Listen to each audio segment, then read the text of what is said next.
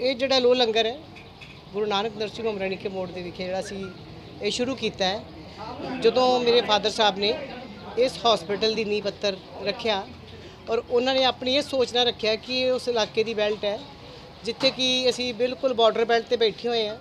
ਸਾਨੂੰ ਇੱਥੇ ਹੈਲਥ ਦੀਆਂ ਸਰਵਿਸਿਜ਼ ਜਿੰਨੀਆਂ ਚਾਹੀਦੀਆਂ ਨੇ ਉਨੀਆਂ ਨਹੀਂ ਹੈਗੀਆਂ, ਪਰ ਫਿਰ ਵੀ ਇਹ ਕੋਨੇ ਦੇ ਨਿਸ਼ਾਨੇ ਦੇ ਮੁਤਾਬਕ ਅਸੀਂ ਇਹਨੂੰ ਉਦੋਂ ਸ਼ੁਰੂ ਕੀਤਾ, ਜਿਹਨੂੰ ਕਿ 20 ਸਾਲ ਹੋ ਚੁੱਕੇ ਨੇ। ਉਹਨਾਂ ਸਾਲਾਂ ਦੇ ਦੌਰਾਨ ਜੋ ਹਾਲਾਤ ਸੀਗੇ, ਅੱਜ ਉਹਦੇ ਉਹਦੋਂ ਬਹੁਤ ਬਿਹਤਰ ਨੇ, ਸੇਵਾਵਾਂ ਬਿਹਤਰ ਨੇ ਹਸਪੀਟਲ ਦੀਆਂ ਵੀ।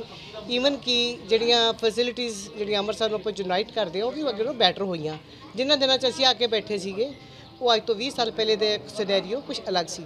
ਉਹਨਾਂ ਨੂੰ ਲੱਗਦਾ ਸੀਗਾ ਕਿ ਇੱਕ ਜਿਹੜੇ ਲੋਕ ਨੇ ਸਾਡੇ, ਉਹਦੇ ਵਿੱਚ ਲੋ ਲੰਗਰ ਦੇ ਵਿੱਚ ਵੀ ਸੀ, ਇੱਕ ਜਦੋਂ ਸਾਡੇ ਕੋਲ ਪੇਸ਼ੈਂਟ ਆਉਂਦਾ ਤੇ ਲੰਗਰ ਦੀ ਪ੍ਰਥਾ ਵੀ ਸਾਨੂੰ ਚਲਾਉਣੀ ਚਾਹੀਦੀ ਹੈ।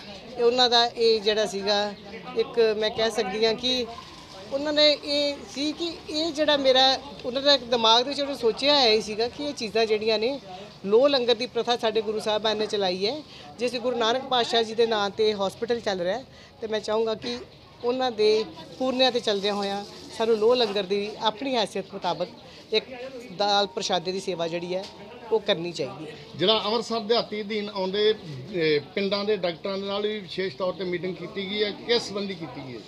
ਇਹਨਾਂ ਦੇ ਵਿੱਚ ਅਸੀਂ ਇਹਨਾਂ ਨੂੰ ਇਹ ਦੱਸਿਆ ਗਿਆ ਹੈ ਕਿ ਸਾਡੇ ਜਿਹੜੇ ਪਿੰਡਾਂ ਦੇ ਲੋਕ ਜਿਵੇਂ ਕਿ ਅਸੀਂ ਹੈਲਥ ਕਾਰਡ ਜਿਹੜੇ ਨੇ ਸਾਡੇ ਪਿੰਡਾਂ 'ਚ ਰਹਿਣ ਵਾਲੇ ਲੋਕਾਂ ਨੂੰ ਇਸ਼ੂ ਕੀਤੇ ਗਏ ਨੇ ਜਿਹਦੇ ਵਿੱਚ ਉਹਨਾਂ ਲੋਕਾਂ ਨੂੰ ਇਹ ਸਮਝ ਨਹੀਂ ਹੈਗੀ ਕਿ ਜਿਹੜਾ 5 ਲੱਖ ਦਾ ਟ੍ਰੀਟਮੈਂਟ ਹੈ, ਇਹ ਕੈਸ਼ ਹੁੰਦਾ, ਇਹ ਅਸੀਂ ਆਪੇ ਪੈਸੇ ਕੱਢ ਲਾਂਗੇ, ਇਹ ਤੁਸੀਂ ਵੀ ਲੈ ਲਓ, ਸਾਨੂੰ ਵੀ ਦੇ ਦਿਓ।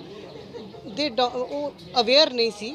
ਸਾਨੂੰ ਲੱਗਾ ਕਿ ਇਹ ਜਿਹੜੇ ਸਾਡੇ ਡਾਕਟਰਸ ਨੇ, ਜਿਹੜੇ ਅਲੱਗ-ਅਲੱਗ ਪਿੰਡਾਂ ਦੇ ਵਿੱਚ ਬੈਠੇ ਹੋਏ ਨੇ, ਜਿਨ੍ਹਾਂ ਦੀ ਡਾਇਰੈਕਟ ਕਮਿਊਨੀਕੇਸ਼ਨ ਉਹਨਾਂ ਲੋਕਾਂ ਦੇ ਨਾਲ ਹੈ, ਉਹ ਉਹਨਾਂ ਨੂੰ ਦੱਸਣ ਕਿ ਉਹ ਆਪਣੀ ਸਿਹਤ ਸੰਬੰਧੀ ਜਾਗਰੂਕ ਹੋਣ ਔਰ ਇਹਨਾਂ ਕਾਰਡਾਂ ਦੇ ਵਿੱਚੋਂ ਕਿਵੇਂ ਇਹਨਾਂ ਦੀ ਵਰਤੋਂ ਕੀਤੀ ਜਾਂਦੀ ਹੈ ਸਿਹਤ ਸੰਬੰਧੀ ਇਹ 'ਚ ਕੋਈ ਕੈਸ਼ ਦੀ ਸਹੂਲਤ ਨਹੀਂ ਹੈ ਕਿ ਤੁਹਾਨੂੰ ਕੈਸ਼ ਮਿਲੇਗਾ। ਤੁਹਾਡੀ ਸਿਹਤ ਦਾ ਖਾਸ ਧਿਆਨ ਰੱਖਿਆ ਜਾਏਗਾ ਇਹਨਾਂ ਕਾਰਡਾਂ ਸੰਬੰਧੀ ਸਹੂਲਤ ਬਾਰੇ। ਉਹ ਪਿੰਡਾਂ ਦੇ ਵਿੱਚ ਇਹ ਜਿਹੜਾ ਪੈਗਾਮ ਹੈ ਜਿਹੜਾ ਦਿੱਤਾ ਗਿਆ ਹੈ ਕਿ ਵੇਖੋ ਜੀ ਲੋਕਾਂ ਦੀ ਸਿਹਤ ਸੰਬੰਧੀ ਜਾਗਰੂਕ ਕਰਨ ਵਾਸਤੇ ਤੇ ਕਾਰਡ ਸੰਬੰਧੀ ਜਾਗਰੂਕ ਕਰਨ ਪਿੱਛੇ ਬੁਲਾਇਆ ਗਿਆ। ਇਸ ਵਾਸਤੇ ਅਸੀਂ ਲੰਗਰ ਸਟਾਰਟ ਕੀਤਾ ਕਿ ਇਹ ਮਰੀਜ਼ ਨੂੰ ਵਾਸਤੇ ਲੰਗਰ ਹੈ। ਹਾਂ ਕੋਈ ਪੇਸ਼ੈਂਟ ਵੀ ਉਹਦਾ ਕੋਈ ਅਟੈਂਡੈਂਟ ਲੈਣਾ ਚਾਹੁੰਦਾ ਸਾਨੂੰ ਕੋਈ ਪਰੇਸ਼ਾਨੀ ਨਹੀਂ ਹੋਏਗੀ। ਪਰ ਜੇ ਪੇਸ਼ੈਂਟ ਦਾ ਕੋਈ ਅਟੈਂਡੈਂਟ ਲੈਣਾ ਚਾਹੇਗਾ ਉਹ ਤਿੰਨਾਂ ਖਾਣਿਆਂ ਦਾ 100 ਰੁਪਇਆ ਪੇ ਕਰੇਗਾ। ਪੇਸ਼ੈਂਟ ਲਈ ਬਿਲਕੁਲ ਫ੍ਰੀ ਰਹੇਗਾ। ਇਹ ਮੇਰੇ ਫਾਦਰ ਸਾਹਿਬ ਜੀ ਦਾ ਸੁਪਨਾ ਸੀਗਾ ਕਿ ਇਹ ਹਸਪੀਟਲ ਜਿਹੜਾ ਲੰਗਰ ਦੀ ਪ੍ਰਥਾ ਦੇਵੇ। ਮੈਨੂੰ ਲੱਗਦਾ ਹੈ ਕਿ ਸ਼ਾਇਦ